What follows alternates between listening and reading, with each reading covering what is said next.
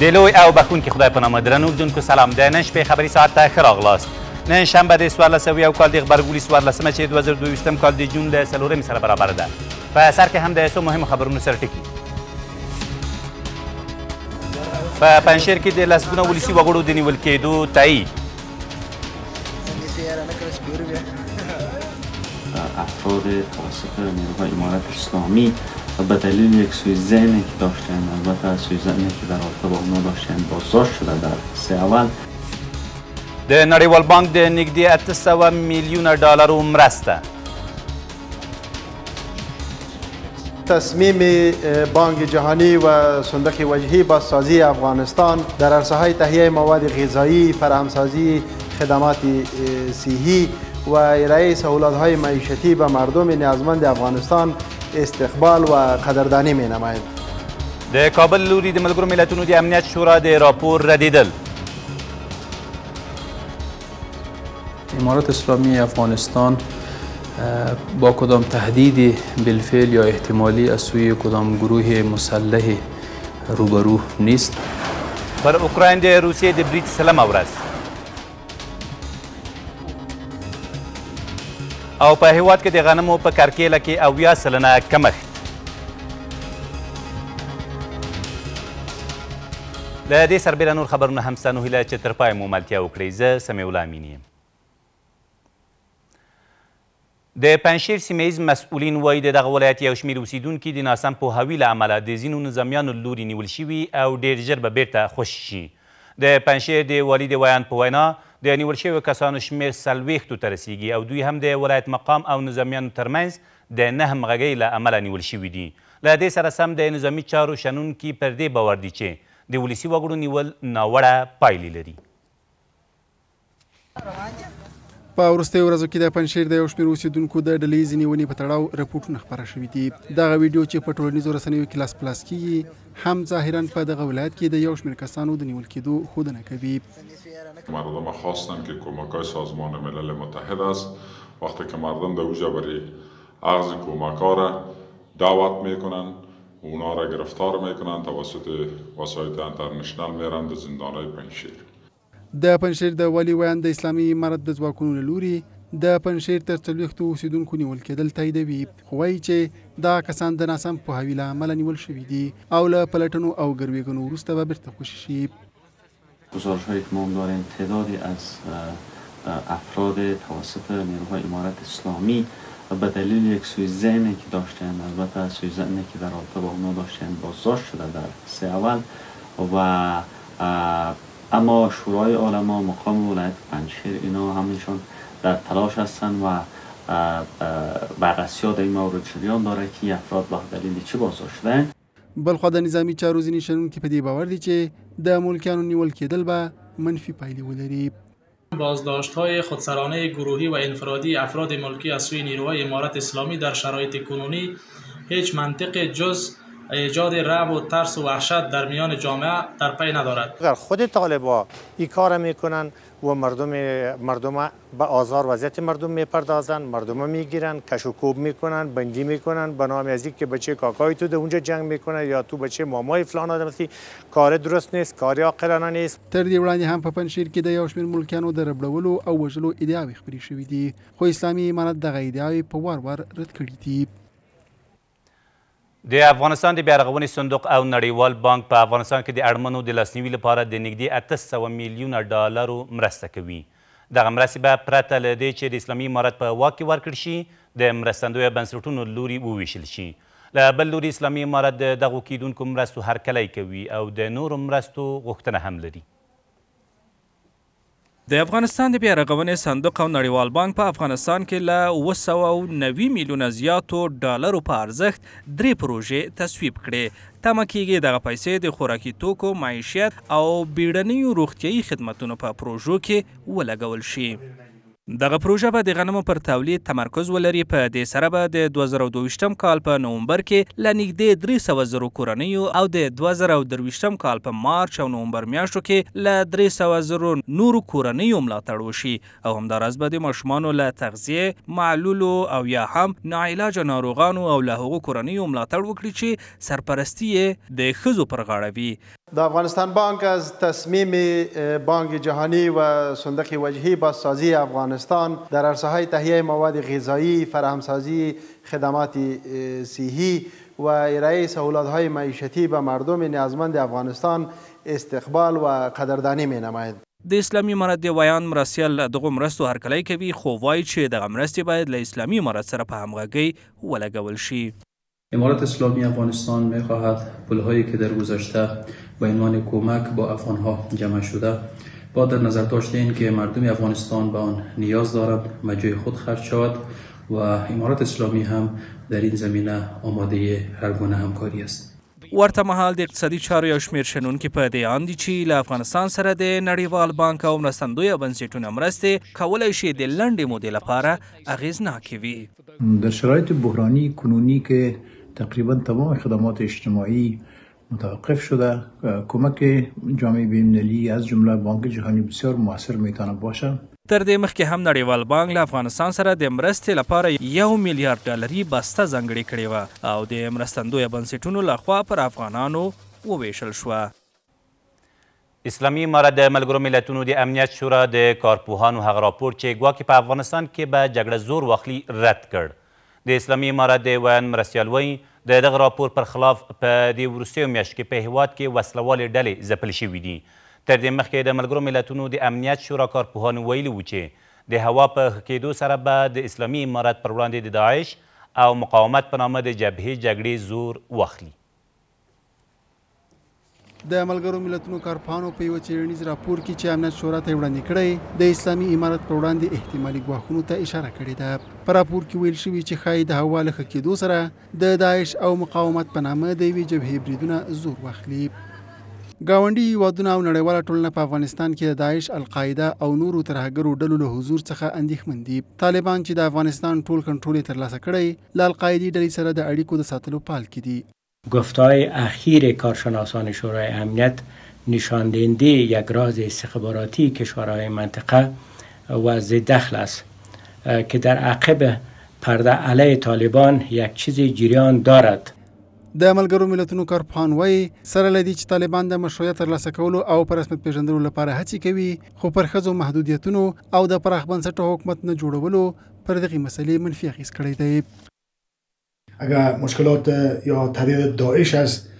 تدابیر امنیتی گرفته شود اگر تهدید از طرف گروه های دیگر است تا هنوز اونا در مذاکره را نبستند باید از طریق گفتگو و مذاکرات مسائل حل کنه چون که جنګ به هیچ وجه رای حل نیست. خو کابل د دغه راپور د موندنو په ردولو سره وايي چې اسلامي امارت د هیڅ ډلي له خوا له احتمالي ګواښ سره مخ نه دی. امارت اسلامی افغانستان با کدام تهدید بالفعل یا احتمالی از سوی کدام گروه مسلح روبرو نیست امارات اسلامی افغانستان در چند ماه حکومت خود در سرکوبی سایر گروه های شورشگر و حراس افغان موفق بوده و همچنان امارات اسلامی افغانستان برای تامین امنیت در سراسر کشور به جدیت کار میکند د ملګرو ملتونو د امنیت شورا په راپور کې همداراز راغلي چې داعش او القاعده له 2023 کال مخکې پر نړیوالو د بریدونو وړتیا نه لري په کابل کې د نور د زده کړو او د ظرفیت لوړولو بنسټ غړو نن په یوې غونډه کې له شپږم ټولګي پورته نجونو ته د زده کړو د اجازې ورکړې غوښتنه وکړه. دوی له اسلامي امارته وغوښتل چې د نجونو پاتې ښوونځي هم ژر تر ژره پرانیزي.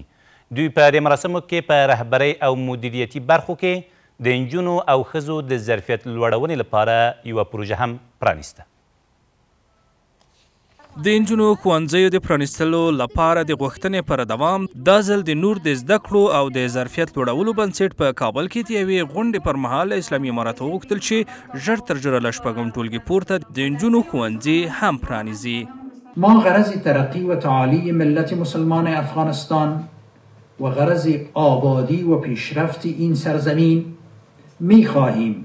تا درهای تمام مکاتب، مدارس و مراکز علمی و تعلیمی بروی دختران، و پسران باز شود. امارت اسلامی هم بسیار نظر خوب داره در باره خانم ها ولی باید جنبه تطبیقی داشته باشه جنبه عملی داشته باشه که ما بتانیم که خواهرای ما یک روز از تعلیم محروم نشن خانم ها و دخترها میخواین که دوباره به مکاتب برگردن لطفا لطفا دروازه مکاتب را برای دختران باز کنین په ورته مهال د دغه بنسټ لخوا د ښوونکو مسلینو او زده کوونکو په ګډون د ښځو او انجونو د ظرفیت لوړولو یوه پروژه هم پرانستل شوه. ترینینگ های ما بعد از دریافت امی ترینینگ ها قادر به این می باشند که بخیر در آینده بتوانند اینا از حقی که به اینا اسلام تعیین کرده حقی که به اینا فرهنگ افغانی تعیین کرده را به شیوه بسیار اساسی و علمیش اینا به دست بیارند. منابع پیشرفت برای رشد و ترقی و ظرفیت سازی زنان ایجاد مراکز تعلیمی و تحصیلی می باشد. بل لور ته د ظرفیت لوړولو دغې روزنیزې دورې ته بریالۍ شوې ښځې د دغې پروژې له طرح کېدو خوشحاله برېښي. هر محصل و یا هر کسی که در جامعه زندگی میکنه یکی از بخشای عمده همین پروژه ظرفیت سازی میباشه تا ای که باید ظرفیتایشان ارتقا پیدا کنه. د نور د زده کړو او د ظرفیت لوړولو په دوه ویشت ولایتونو کې د بشري حقونو په برخه کې د ظرفیت لوړولو په څانګه کې فعالیت کوي. د اوسني افغانستان د بنسټګر احمدشاه بابا له 250 م تلین سره سم په کندهار کې یو شمیر فرهنګپال وایي د نوموړي کور د نړېدو له ګواښ سره مخ دی.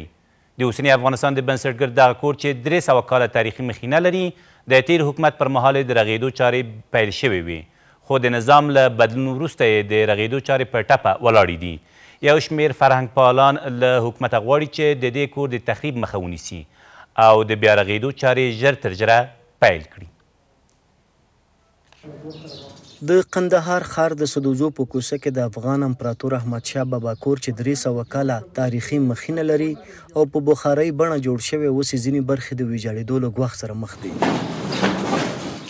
د دې کور د استملاک چارې د تېر حکومت پر مهال بشپړې شوې او تمه وه چې د رغېدو چارې یې هم پیل شي، خو تر اوسه پر ځای پاتې دي. دا مثال لري چې داسې کر دی د شاه د شاه د خواست مثال رښتۍ لري د هغه سره نو کر دی دا د وخت سره نه دا لس پنځلس کاله کېږي دا ځای نو را ایستلي دی او چې مثال دولت توجه ورته ونه کړي دا ځای مثال تخریب سره مخ دی. د تېر حکومت پر مهال ولسمشر غني قندهار ته د سفر پر مهال ژمنه ورکړې وه چې دغه تاریخي ځای به د ارګ د سلام خانې ماڼۍ په څېر ورغول شي. یو شمېر فرهنګپال له حکومت څخه غواړي تر څو د دې کور د تخریب مخه ونیسي او د بیا رغولو چارې دې هم ژر تر ژره پیل شي. استوګن کسان چې په ښي کې دي هغوی په دغه ورغ ډول باندې مخ ونیسي او که د هغوی په توان نه وي په ایستا باندې د اتحاد کلتور ریاست باید د بودیجې په تخصیص سره چې د مالیې د وزارت څخه یې واخلي، د دې کور په اصلاح باندې په ترمیم کې رغنده کار وکړي او دستې په دستې وکړي. د اطلاعات کلتور وزارت باندې ږغ کوو چې په بیړنۍ توګه د احمد شاه بابا د کور د ساتلو لپاره بودیجه ځانګړې کړي او همدا ډول پر ټولو فرهنګپالو افغانانو او تجارانو باندې ږغ کوو چې په دې اړه له اوسني حکومت سره همکاره شي چې ترڅو دغه زموږ تاریخي ارزښت او تاریخي آبیده وساتل شي. د قندهار د اطلاعاتو او فرهنګ ریاست مسولین وايي، د احمدشاه بابا د کور د ترمیم په موخه لومړنۍ سروې شوې او له وزارت سره شریکې شوې چې ممکن به له انکشافي بودیجې څخه یوه برخه ورته ځانګړې شي. موږ د دغه ساحې اړوند هغه لازم اسناد برابر کړي دي او د ترمیم په موخه مو مرکزي دولت ته لیږلي دي. انشاالله امید شته چې په راتلونکي کې، نږدې راتلونکي کې به د دې هغه اساسي ترمیمات راپیل شي.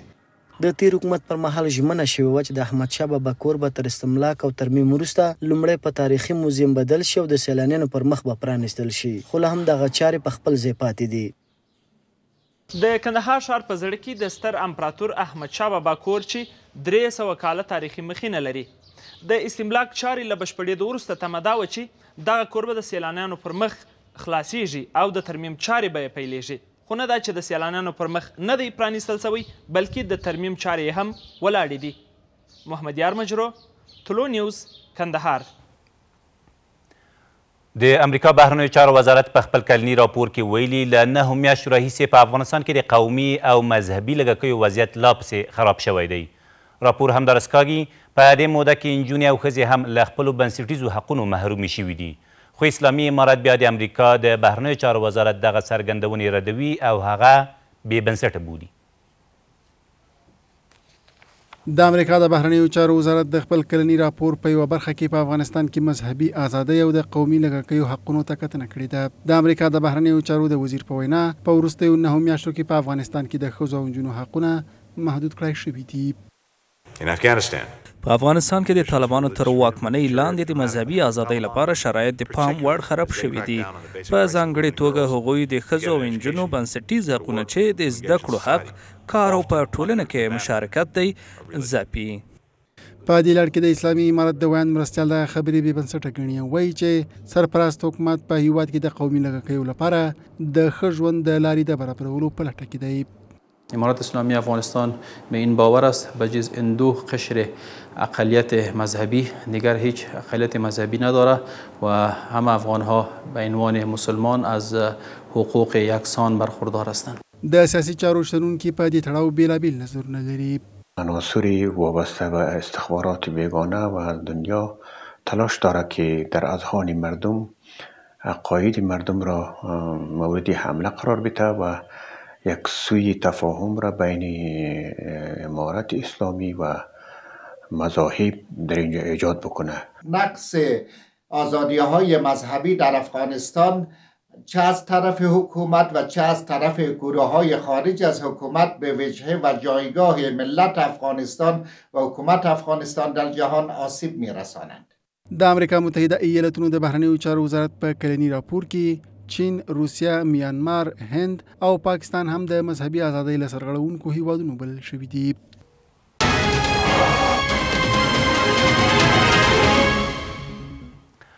د میدان وردګ اوسیدونکي وایي د بیکارۍ له امله نورو هیوادونو ته د ځوانانو تګ زیات شوی دی د دوی په خبره اوس مهال د دغه ولایت ډیری اوسیدونکي په بشري مرستو سره شپې او ورځې تیروي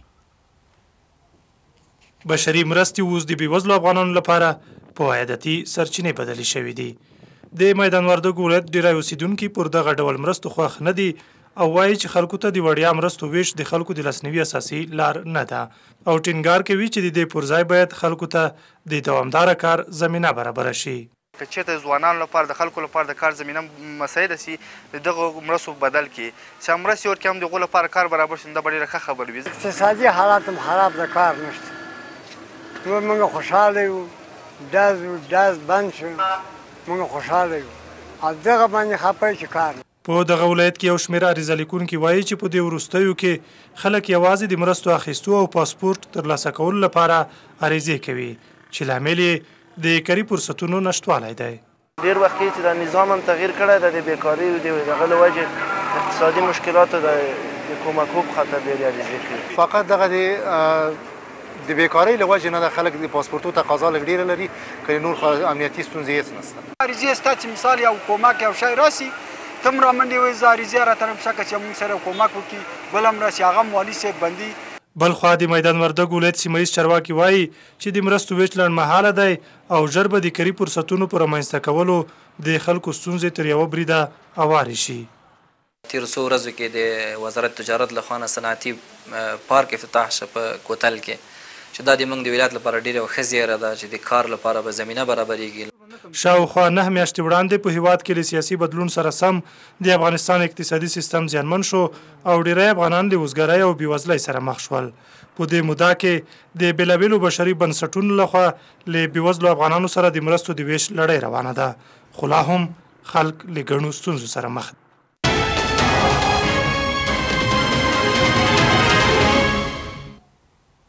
د ملګرو ملتونو د خوړو او کرنې څانګه وایي په افغانستان کې یو یا سلنه کروندګرو په خپلو ځمکو کې ډیر کم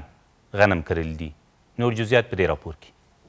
د ملګرو ملتونو د خوړو او کرنې څانګه په کرنیزو ځمکو کې د غنمو د کښت له کموالي اندېښنه څرګنده کړې ده. د ملګرو ملتونو د خوړو او کرنې څانګې د ارزونو د څلورمې دورې معلومات ښیي چې نهه اویا سلنه کروندګر د خپلو حاصلاتو د کمېدو تمه لري. څلور اویا سلنه کروندګر د معمولو کلونو پرتله د خپلو حاصلاتو د کموالي تمه لري. د غنمو د حاصلاتو په اړه ځانګړې اندېښنې شته، نه اویا سلنه وګړي چې سروې شوي ځواب کې یې د خپلو حاصلاتو د کموالي یادونه کړې. په ورته مهال یو شمېر کروندګر وایي، سږکال یې د غنمو حاصلات ډېر کم شوي. خوشسالی امی بارانها کم شد یک ذره کشت دایمه کار مردم یک ذره از بین رفت. شاید اک سی فیصد یا سی و پنج فیصد امی منطقه چل فیصد شاید کش شده باشه دایمه. خود ما کشتمند نشتیم امی روزا دیقانا داریم این همی قدر میشه که بازونا بیتیم اینا بخوره و اینا به ما همی کاهش میمانه. چند سال است سرم هی خود سالم یا زخره نمیشه برای دیقونا جواب داده نمیتونه خود دیقون خرج دولت تغذیه نمیکنه هیچ توجه نداره که مثلا برای دیقونا و مالدارا اینا اما مصرف بالا هستند. د کرنې او مالدارۍ خونه وايي، په روان لمریز کال کې افغانستان له بهره د نږدې دوه نیم میلیونه ټنه غنمو راواردولو ته اړتیا لري. قدم اول یک اتاق مشترک وتاق افغانستان و وتاق قزاقستان ایجاد کنه و ای را توسط تاجرای مطرح بالخصوص در بخش گندم تاجرای وارد کننده باشه از قزاقستان خریداری کنند تا که زخایر استراتیجی ما بیشتر از ده میلیون ګندم باید ما میداشتیم. بل لور ته د سوداګرۍ او پانګونې خونه وايي، سره له دې چې افغانستان ته د اوړو را واردول په عادي ډول روان دي، خو د غنمو واردات تر پنځوس سلنه کم شوي دي. په اکثره ګندمې کې ما خریداري میکنیم از حوزهی جن اسیای مرکزی و از روسیه و حتی از اوکراین خریداری میکنیم که ای یک مشکلی به وجود آوردن کندی را به وجود آورده و کم شده خریداری گندم. افغانستان هر کال شاوخوا اووه میلیونه ټنه غنمو ته اړتیا لري چې له پنځوس سلنه زیات یې په هېواد کې تولیدېږي خو په روان زېږدیز کال کې په اوکراین او روسیه کې سیاسي ترنګلتیاوې په نړۍ کې د غنمو د کمښت لامل شوي. دا د نشپې خبري ساعت